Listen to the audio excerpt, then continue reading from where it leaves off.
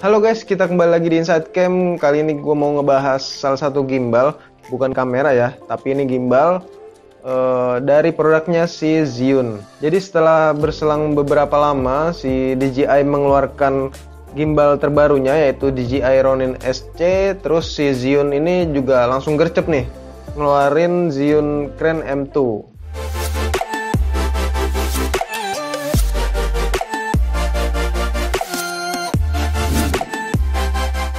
Zhiyun Crane M2 sendiri adalah gimbal dengan tiga aksis yang diciptakan untuk kamera macam pocket dan mirrorless.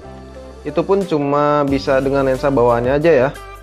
Karena gimbal ini tuh cuma mampu menampung beban seberat kurang dari 1 kg. Jadi tepatnya itu sekitar 720 gram aja. Nah paling cocok banget nih sama kamera pocket macam Sony RX100 dan Nikon J5 ataupun sejenisnya lah pas gue cobain pakai EOS M50 sih bisa aja. Cuma mentok di viewfindernya. Jadi ada beberapa mode yang nggak bisa kita jalanin macam mode vortex dan lainnya.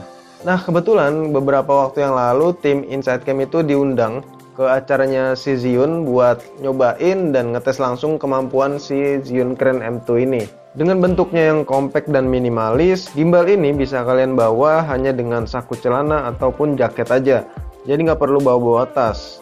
Jadi cocok banget lah buat dibawa traveling. Kan biasanya kalau bawa gimbal itu pakai hard case-nya yang kayak koper-koper gitu. Lumayan gede. Selain kompatibel dengan kamera mirrorless dan pocket gimbal ini juga bisa kalian pasangkan dengan action cam serta smartphone juga. Jadi bisa tiga kegunaan dalam satu gimbal. Jadi walaupun gimbal ini kecil kalian bisa lakukan panning 360 derajat tilting 310 derajat dan roll rotation itu 324 derajat. Selain itu, Crane M2 juga punya 6 mode sekaligus yang bisa kalian gunakan.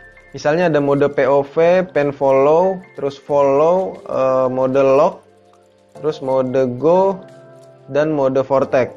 Dan yang tambahan lagi ini ada mode buat selfie juga. Zune Crane M2 juga dilengkapi dengan OLED display buat menampilkan mode Bluetooth, baterai level, dan lainnya. Yang gak kalah penting juga soal kekuatan baterainya nih. Keren M2 dikasih kekuatan baterai yang bisa tahan sampai 7 jam non-stop. Dan baterainya ini nggak bisa dilepas ya, jadi dedicated. Terus ngecasnya juga langsung ke gimbalnya.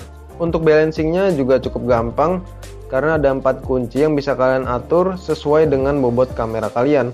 Dan dikasih tripod mini juga, jadi gampang kalau mau didiriin pas lagi balancing. Di dalam paket pembeliannya, kalian juga dapat hard case dan nggak ketinggalan smartphone holder, serta quick release untuk kamera juga. Dan kalau untuk harganya gimbal Zhiyun Crane M2 ini eh, pas pertama kali dikeluarin harganya sekitar 3,7 jutaan ya. Oke deh, mungkin sampai sini dulu video tentang gimbal Zhiyun Crane M2 ini. Jangan lupa di like, di komen kalau mau nanya sesuatu, terus di subscribe juga, di diklik yang gambar loncengnya juga di follow juga Instagram kita di insidecam.id. Dan sampai ketemu di video selanjutnya.